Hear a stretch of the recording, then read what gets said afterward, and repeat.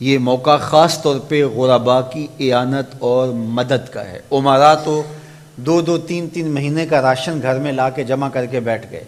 लेकिन दूसरी जानब, वो गुरबा, वो लोग जो रोज़ की रोटी कमाते हैं और रोज़ अपने बच्चों का पेट भरते हैं, अब जब रोज़गार बंद हुए और मुल्क में लॉकडाउन हो गया तो उनके लिए वो इसबाब वो ज़राए रिस्क के हसूल के बंद हुए।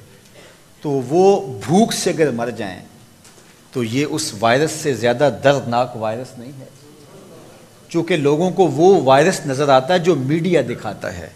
थर के अंदर कितने लोग भूख नामी वायरस से मर रहे हैं। इसलिए सदका व खैरात किया जाए, मासूदा दुआएँ पढ़ी जाएँ, खौफ ज़दा होने की बजाय हफाजती तदाबीर इख्तियार की जाएँ और कसरत के साथ इस्तफ़ार किया जाए और कसरत के साथ अल्लाह की तस्वीर पढ़ी जाए।